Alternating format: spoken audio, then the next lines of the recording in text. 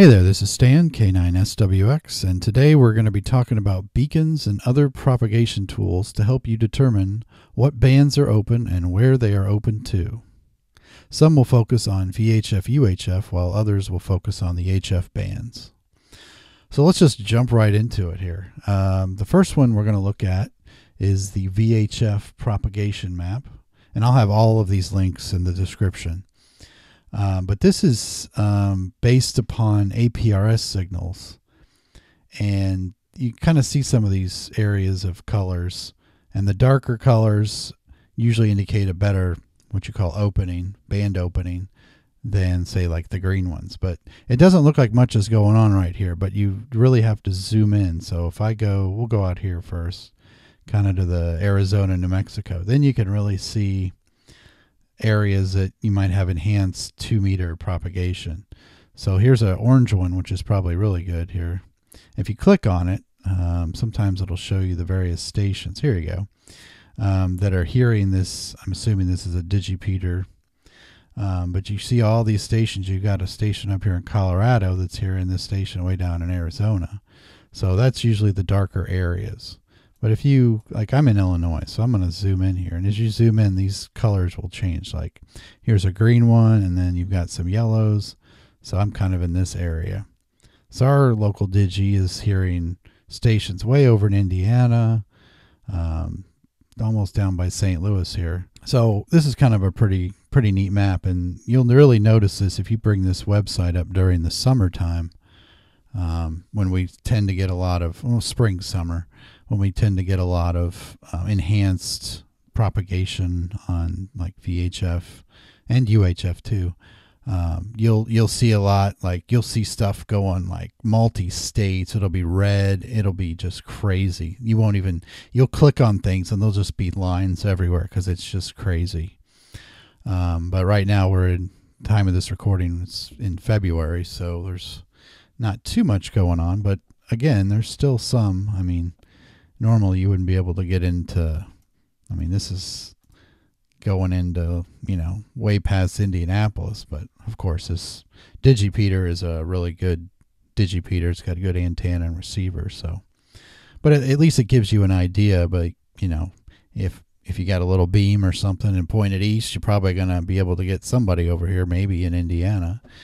Um, so that's that's one one quick tool to take a look at if you click on this website, you can click HF, but I already got it pulled up here. Um, this is kind of their sister website that does the HF bands. It's a little different because obviously it doesn't use APRS to figure it out. Um, if you come up here and hit About, it'll tell you all about how they figured this out. It looks like they're pulling from WSPRnet, the Reverse Beacon Network, um, DX clusters. So they're pulling from multiple sources to make these maps. But basically, uh, let me close that out. Uh, you can you can see the bands up here. It goes all the way up to six meters, and you can put in your um, grid square up here where it says perspective. So I've got I'm in EN five zero, so I put that in. So it's not really showing me anything for for six meters here. But as we go down, say here's 10 meters. If you hover over these, you'll kind of see different shades. So like this shade would be uh, it's telling me 10 meters SSB. So I, in theory, I could talk, looks like across the country on 10 meter SSB. But then CW, you've got this kind of shaded area, and then there's a digital outline. It's kind of hard to see sometimes, but um, it gives you a little idea. And then we'll go down. There's 12 meters, not much going on. 15, uh, 17, 20 meters it's getting a little bit further. Uh, 30 meters, not much. 40 meters, about the you know about the U.S. coverage area. Um, but you know it's another another quick map to look at, and it auto refreshes. I think they said every minute or something. So um, that's pretty cool. But just another little quick map. Uh, one of my favorite maps is uh, DX Maps, uh, dxmaps.com. And this is really cool because they they go all over the place. You want to do six meters, two meters, go up to UHF, all kinds of stuff. But um, like here's 10 meters. And you can move the map around and you can kind of see there's signals coming from looks like the east coast over to Japan. And you can even there's a whole bunch of options up here. And I'm not going to go through all of them, but um, if you turn on like the PSK reporter source, you get a ton. Of, it, it gets a little messy, but at least it gives you an idea here. If you zoom in, you can kind of highlight these and see which direction and uh, what these stations are pulling in. Uh, but you can kind of see, you know, there's a lot going over the pond here. Um, lot going into Japan and other countries over here. And you can just kind of thumb through the various bands. If you go over here to LFHF, you get all the HF bands. Um, so I think, uh, let's check 20 meters. So 20 meters are a little different. Not much going over to Japan, but we've got a whole bunch of stuff here. I don't know if, yeah, I've got mine. I don't not picking up much here, but I just have an indoor antenna, so it, at least it's showing up on the website. But anyway, you can kind of see a lot of stateside stuff for 20, and then there's you know some batch going down here, and then a few going over the pond. Um, but you can check this throughout the day and see on 30 meters, there's a whole bunch going from looks like Florida or something down here over to you know, Europe on 30. So that's kind of cool. Um, but again, a lot of these sources are, you know, pulling from FT8, FT4, WSPR, I believe, yeah, the PSK reporter. But you can switch it, you can shut that off and just put it on DX cluster. And it'll be a lot less busy map, uh, but it may not give you the information you need unless you turn on the, the PSK reporter data source. Uh, because see here, it's just if we're just using the DX cluster, you know, it looks like there's a few stations picking up uh, South America down here. But uh, this is this is fun in the summertime because you can um, you get a lot of six meter stuff. You'll see a lot of signals, uh, two meter, even uh, 70 centimeters. You'll see signals when the bands are really hopping. So that's that's a that's a really good site that I I really like to use. Another one of my favorite sites is PSK Reporter, and you can do all kinds of stuff with this. Right now, I've got it on. Uh, it's a little messy right now because I'm got it on 10 meters. Um, I've got it set to any call in the last 15 minutes, all modes. So you can see there's a lot going from the U.S. over to Japan and surrounding areas. And then you can kind of see a lot of signals going from Australia to maybe Japan. So that's cool. But um, if you uh, are connected to PSK Reporter in any way, um, you can put your own call sign in here. Uh, we'll do that. And then I don't know what band I'm listening to right now, so I'm going to put all bands. I think it's 20 or 40. Yeah, 20 meters. So this is what I'm picking up. Uh, in the last 15 minutes, my little, I have a Raspberry Pi that has some software on it that listens. And, you know, it's it's decoding FT8, FT4, WSPR. I think those are the main ones. But you can see it's picked up something over here in Spain and then a whole bunch of stuff on the East Coast and then maybe out here, some Colorado, and then kind of a couple on the West Coast here. Uh, but that's what my station's picking up. So that's kind of cool that if you, you know, if you're using, you know, like WSJTX to, and, you know, doing FT8 or something like that, if you, you can set it up to report signals you're hearing to uh, PSK reporter and then it'll show up on this map, which is uh, really cool. Uh, but you can, you know, you can do all kinds of stuff. And then again, it'll, it, you can see up here. Um, let me see if I can zoom in on that. I don't know if I can. Here we go. Um, it'll show you the, there's over 6,200 people monitoring. I think I broke the map here, but, oh, there we go. Um, there's various monitors on bands here. So mine right now, mine's set to 20 meters and there's 1,385 people monitoring that um, have you know they've got some sort of radio system set up so it's monitoring data modes on 20 meters that send to this website. So that's cool. And then you can also set this to um, grid square as well. So my grid square is EN50, and then this is probably going to take a minute because um, I've got it set to all bands. I probably shouldn't have done that. Oh, there we go. Well, that's not bad. So this these are all the signals being reported on all bands in our grid square. I don't know if it does this show grid square. Uh, I don't see grid square. Oh, here it is. Jeez. Okay, but then I got it. There we go. So I can't really see the line too well. It looks like it's this this box here is what's being picked up, or you know, all the receivers uh, or senders, I guess. Um, but you can see there's lots of stuff on. I think this is what is this? 10 meters. The pink is 10 meters here.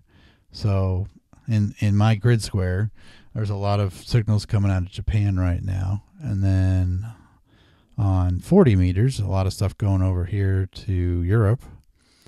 And then there's a few stragglers down here. I don't know what this one is. Oh, that's 12 meters, way down here.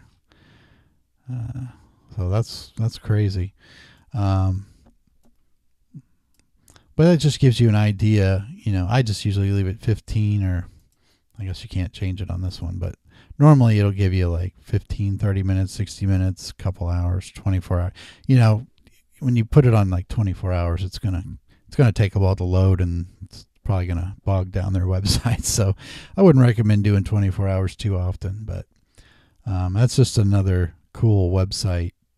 And, you know, you can also, if you're doing data modes, you can see where your signal is being heard, which is really cool. So the next site I want to take a look at, and it's going to go away a little bit from ham radio, but um, is the NOAA weather radio here in the U.S. Um, it those it it's on frequency uh, 162.400 to 162.55 megahertz, and they're all over the country. And usually they're used for weather alerts, like you know, tornado warnings, severe thunderstorm warnings, blizzard warnings, all that kind of stuff. Um, but what I do is, especially if I'm in the car, I've got all these in my radio, and I'll just thumb through. There's only seven different state, you know, seven different channels, if you will, and you can hear what you pick up, and they're like, oh, well, this one I don't normally hear this one, and then you wait for the call sign to be given, and then you look it up on uh, the National Weather Service's website. So I've got their website pulled up here, and this is a clickable map. So I'm in Illinois, so I'm just going to click Illinois, and it'll bring up this cool map. And what I like to do is shut off propagation and these. Uh, let's see here. Well, I guess we'll just go ahead and do that. But if you zoom in, like here's mine in Champaign, if you click on that, it gives you the frequency. So if you're hearing a distant station that you normally don't hear, listen for this call sign. Um, like if I'm in Champaign, I'm probably going to be able to hear, like at least outside in the car with a you know mobile antenna, I'm probably going to be able to hear Bloomington fairly well uh, most of the time. But this one in Paris, which is about the same distance, is on the same frequency as the one in Bloomington. So I kind of never know which one I'm going to pick up uh, if I'm in the car. So you got to listen for the call sign. So that's pretty cool. Um, so that's that's another. You know, sometimes I I will listen to to the weather radio to get an idea. It's like, oh well, I'm hearing one in Chicago. So then I go to my you know I go to my repeaters or try simplex and see if I can hear any repeaters in Chicago. Um, most of these are either 300 watts or 1000 watts. If you scroll down here, oh, this one doesn't show it. They have another page on their site um, that shows how much power um, these are putting out. I know ours here in Champaign is a thousand, uh, a thousand watts, and a lot of the smaller ones uh, for smaller coverage areas are 300. Um, they don't even show it on here. Let me see if I can find that. Hold on a second. Okay, so I found this this one here. Um, so it does look like they range anywhere from 300 to 1,000 watts. There's actually one in Chicago that's 500 watts.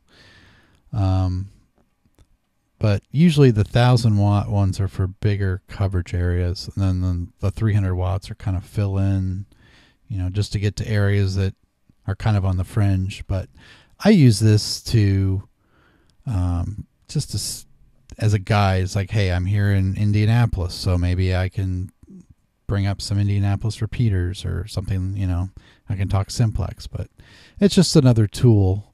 Uh, I mean, obviously it's, it's a little higher than the ham bands being 162 megahertz instead of 144 to 148, but that's just another, another tool that I use. Jacksonville reported 23 and Quincy reported 30. And once again at 7 a.m. in Springfield, under clear skies, the temperature was 21.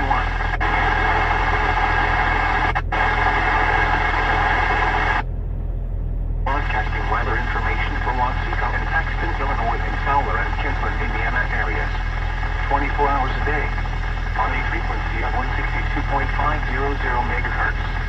From our transmitter near Crescent City, Illinois, this station will also broadcast severe weather events for Iroquois, and Forbes counties in Illinois, which is expected at this time. Spotter information statement.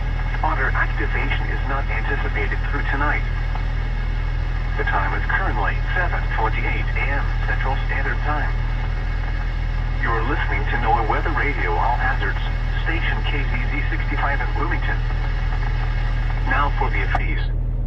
Friday through Saturday, mostly clear. Highs in the mid-40s. Lows in the mid-20s. Saturday night and Sunday, mostly clear. Lows in the mid-30s. Here is a TV band scan map from uh, Rabbit Ears, which is a pretty cool site in itself. But um, this is an FM, or this is the TV map, and you can see um, there's various stations or various people that run these stations in their area to you know see what TV stations they are. And again, like in the spring and summer, you'll get stations hundreds of miles away. So if I go, I actually have one. Um, I just have an indoor antenna, so I get really excited when I get stations outside of my area. Uh, let me see if I can find. Here's mine. Um, but this is what I'm. It scans, you know, it, it runs a scan continuously. Basically, it goes through each channel and sees if it can what it pulls out. But right now, I'm just picking up stations, you know, just regular normal stations in my area. And we got a couple over here in Decatur. Uh, I used to be able to pick up Springfield, which is way over here, but uh, there's a big building in, in between me and them now. So, anyway, um, if you go over here, let me see if I can zoom in on this. Here we go. If you go to ever received, this is all the stations I have picked up with my indoor antenna um, over the past, oh boy, I don't know how long I've done. Yeah, it doesn't really give me the year on these, which is frustrating, but just gives me the date. So a lot of these will be in July or August. Well, there's a bunch in September. But, you know, this is just all indoor antenna. Um, so you could really see, like during the summer, um, you could, this, I think this is probably my, yeah, Hutchinson, Kansas. Um, but that's pretty cool that, you know, again, it gives you another tool that says, hey, I'm picking up TV stations in Kansas. You know, maybe I can pick up I mean, obviously they run a lot of power, so you're probably not going to get Kansas unless you have a big, you know, a tower with a good beam on it and maybe running a little extra power than your regular 50 or 100 watts. But it's it's another tool to say, hey, I'm getting signals, you know, I'm getting TV signals out in this area, so you know maybe I'll switch over to my ham VHF UHF and see if I can, you know, pick up something there. And on that same note, um, they also have an FM one. And so here is the FM one. There's not as many stations using their their system on FM as they are on the TV modes. Um, but there's there's there's one just north of me that has a really good setup, and he always gets stuff way out here. Mine's like buried in here, so um, if I go over here to the list. Now I don't know how many of these are accurate, um, but uh, I know a lot of these are because I was listening at the time. A lot of this is autologger. So unfortunately, I don't have any recordings. It's just what the box picked up and reported to this website. Um, but some of the, I, I, definitely have heard some of these out here during the summer, during um, sporadic E propagation. And these are, you know, I even at the time when I happened to notice it, I I got a I, I picked up just my little FM radio, just a regular FM radio, and I was able to get it on there too. So that was that was pretty exciting.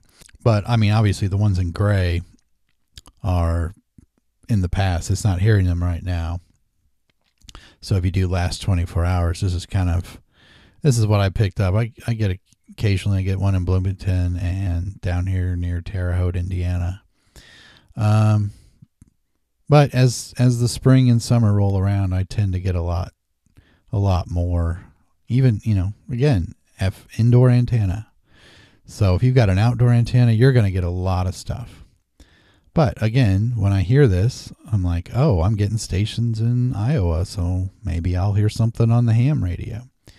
But you know, again, they're running a lot of these FM stations on 50,000 watts, and your normal ham repeater or even your simplex is not going to be running anywhere close to that. But it just gives you an idea of what might be open. So if I hear Bloomington on 101.5, I might go, I might actually go back to my National Weather Service, go to, you know, 1. 162.525, see if I can hear that, which is running a lot less power. I mean, 300 watts you know that's that's getting closer to you know your ham i mean most hams don't run more than 50 watts unless you've got an amplifier on vhf but you know if i'm hearing that then i'm thinking oh well let's try you know let's see if i can bring up some repeaters or simplex so again another tool it's not really ham specific but it, it gives you a, an idea of what might be open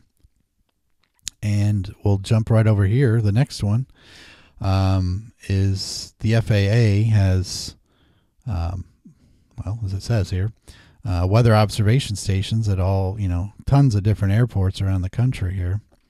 So if I bring up Illinois, then I get a map of the various types, uh, and I get a table as well with the frequencies. You know, this is in the aviation band, uh, AM mode. Um, I mean, there a lot of them are in the lower part of the bands, um, but it gives you an idea. It's like, okay, well, I'm in. Oops, that's not the one I wanted. I'm in Champaign, and you know, can I hear 124.85? Hopefully, I can. I can't indoors, but in the car, I can. Um, and if you had an external antenna, you would be able to. But um, you could also, you know, you could scan the aviation band, and then when you hear one of these, you can look it up and say, "Oh, well, this one's in Galesburg, Illinois, or something," and then look at it on the map, and then um, go to your ham repeaters again. And, you know, check your VHF, see if you're hearing hearing any distant repeaters in that direction, or get on simplex and call CQ. You know, so um, just something, just something I listen to. I mean, these are these are kind of continuously broadcast transmissions, so it's a lot easier to, um, you know, kind of scan for them or monitor them versus a regular. You know, you don't know if anybody's going to be talking on a repeater at any given time, but these, you know, with the other the previous couple of sites we've looked at with the weather radio, that's continuous 24/7 365. You know, your TV stations most of them are on the air usually 24 7 there may be some that shut off overnight. Um, but you know your fm radio probably going to be 24 7 and then you know your automated weather it's automated. So, you know, those pilots need to be able to hear hear those, whether it's, you know, 12 noon or 12 midnight. So, just another tool to to check out. So, sticking with the VHF UHF theme, um, here's a list of. Um, I believe most of these are. Oh, it does say over. Here. Yeah, most of these are uh, Morse code beacons. Some have uh, WSPR embedded, but uh, on VHF, UHF, and a few higher bands, uh, there's some folks out there that have uh, beacons. So they they broadcast 24/7 unless you know they take them down for whatever. But um, this is kind of a nice little list. You know, it gives you the frequency and then kind of what how much power they're putting out and what kind of antenna. And then you, there's a few on the 220 band, and then you got 70 centimeters, and then 900 megahertz. You know, you're, then you go way up here into into the really high bands. Um, so if you hear these on your radio, you know, if I if I come up here and I'm thumbing through two meters and I hear, you know, I might hear this one in Minnesota. You know, he's running 10 watts with a a small beam aimed kind of my way, southeast. You know, I'm like, hey, I might be able to get some some VHF uh, ham signals, hand con- ham contacts out of this. So I always like these beacon lists. Um, I don't know. Let me see if it says down here. Yeah, it says it, this is an updated list. So it, he's done it in um, in this you know a couple weeks ago from the time of this recording. So, you know, it's another resource to, to look at. So, the next one I want to look at is the International Beacon Project. And this is, um, there's a little blurb about it. Um, it's on four different bands, no, five different bands, uh, 20 meters, 17, 15, 12, and 10. So each one transmits um, once every three minutes, 24 hours a day. Uh, 22 words a minute does the call sign, and then it does. Um, there, there, are four different power levels. It's 100 watts, and then 10 watts, 1 watt, and 100 milliwatt. And it, as you can see, it kind of rotates. So, like you saw this one, VE8AT was just on 20 meters. Now, that station is transmitting on 17 meters and in a few seconds it'll jump down here to 15 meters. And it, they just keep rotating. So it's kind of like you know where they're you know you know where they're going to be the next time. And there's you know you can either bring up this website. There's i know um, on the iphone there's an app for for this thing. It'll show you which ones are broadcasting. And uh, mfj even has a a uh, like something you mount on your wall that lights up an LED when each beacon is transmitting. It's because it's you know it's pretty predictable since it's every you know every 10 seconds it rotates. Um, so if you hear one of these stations, then you know that hey, I HF propagation on 20 meters or 10 meters is open to New Zealand or wherever, you know. So then you can start making some calls or listening for other stations. So it's a it's a really cool system they have. I believe it's is it 18 18 or 19 different beacons, but they're all over the world. There's a couple in the US and then, you know, you can see where they're all at. You know, it's a nice spread over over the entire world. Um, so this is yet another pretty cool beacon setup that you can use to hear where propagation is at your location. All right, so the next one is uh, this is all 10 meter. This is a 10 meter beacon list, and this is updated pretty often as well. Um, let me see if I can zoom in on this. Oops.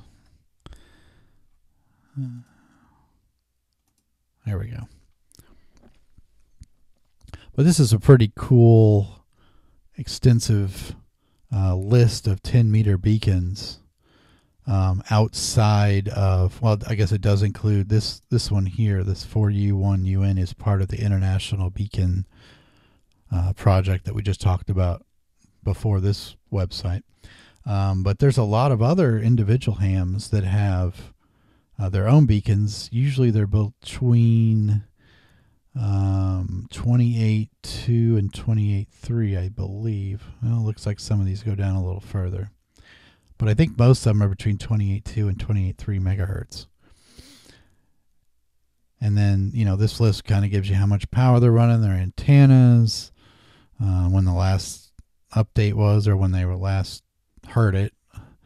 Um, but this is pretty cool because a lot of the time, you know, 10 meters right now is is really hopping. So you're probably going to hear a lot of these individual stations, and you can come to this website or this it's actually a document you can download and store it on your machine. Um, but say you hear um, you could either list you know zoom in on the frequency or you can um, go to this website and see you know which one where it's at or look up their call sign i suppose um, but like this one's in California, so if you hear that one, this one's running a really low power. Um, so then, yeah, he's running 50, 50 milliwatts. So if you're hearing this one, you probably get good propagation to California. But um, this is this is just for 10 meters. But there's, you know, what is this? 486 or so? 485, something like that. So that's that's a lot of beacons that you could possibly hear to help you figure out if where propagation is at your location. All right, the next couple of sites I want to look at are time signals. And the first one is WWV, which is out of uh, Fort Collins, Colorado, here in the U.S.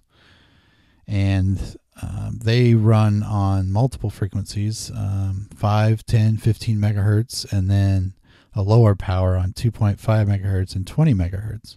If you're hearing that, then you know you probably have somewhat decent propagation into, you know, Colorado at least. But um, let me pull up a website.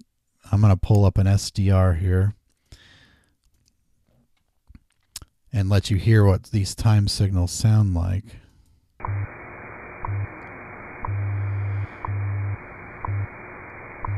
The tone, 0 hours, 33 minutes, Coordinated Universal Time.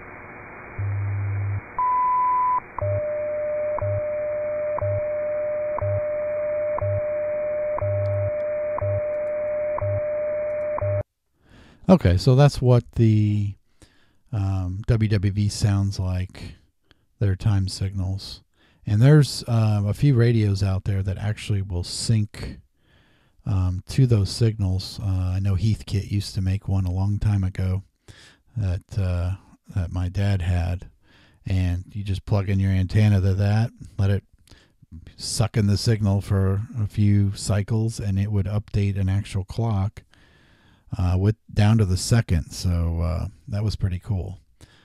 Um, so that that's WWV. All right. So the other time signal I want to talk about is CHU, which is in Canada, and they operate on um, 3330, 7850, and 14670 kilohertz. And it's similar to WWV. It's just a, a little different. Uh, let me pull that up here.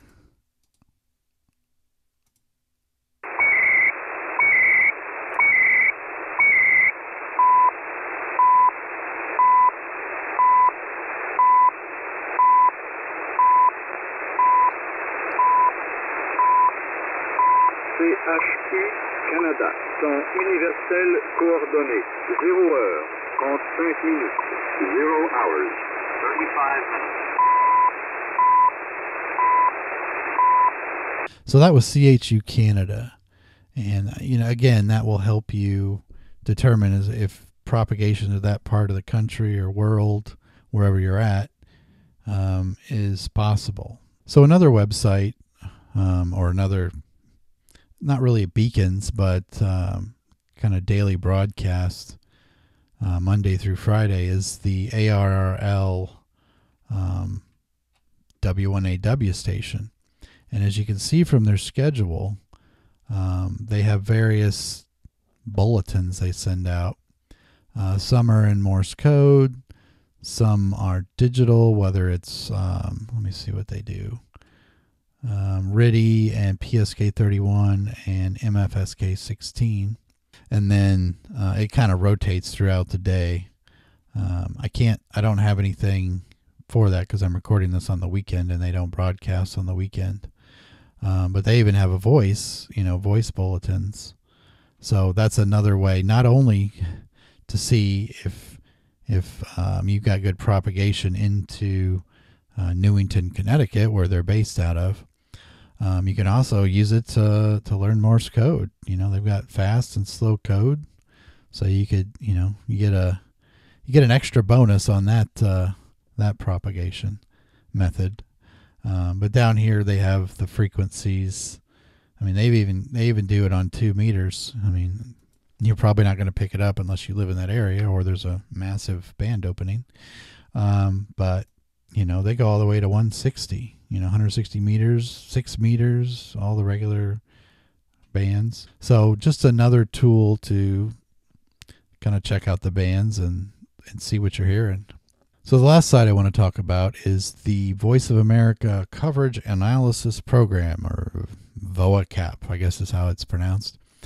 Um, this has been around for years, but uh, it seems like recently they've really upgraded the graphics and the capabilities of this system. Um, I think it used to be a downloadable program. Oh yeah, I guess I still have it. Uh, looks like you can get it get it for Windows and Linux. It looks like, but I'm not going to worry about that today.